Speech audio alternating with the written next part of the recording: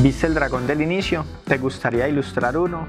Ese será nuestro reto en este MOOC. Si te interesa plasmar tus ideas en un papel, pero no has tenido las bases, para hacerlo aquí te orientaré para desarrollar tus competencias básicas de dibujo. Lo único que necesitas es deseos, ganas y una práctica constante para convertirte en un ilustrador. La hoja está en blanco, pero para ilustrar necesitamos seguir una serie de pasos. Por ello, primero te voy a enseñar unos conceptos básicos y las tendencias de la ilustración, el lápiz y sus propiedades, así como los materiales y sustratos para que este proceso surja con buena calidad.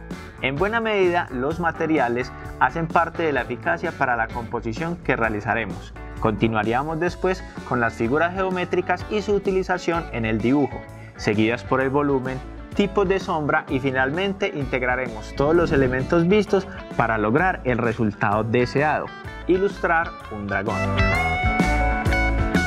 Este espacio buscaremos realizar un proceso creativo y conceptual. Aprender a dibujar es un proceso que fomenta la sensibilidad y la capacidad de expresión.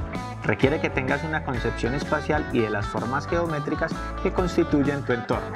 Por lo tanto, más que una evaluación, se trata de una práctica y de una mejora continua, debido a que la habilidad de dibujar no depende de un don, sino de una destreza que se desarrolla ejerciendo desde la concepción de una idea, pasando por el boceto, el dibujo, la ilustración y los acabados hasta llegar al resultado final, la ilustración de una criatura mítica. Te damos entonces la bienvenida al MOOC Ilustración Análoga, diseña y crea tu propia dragón. Ahora sí, empecemos.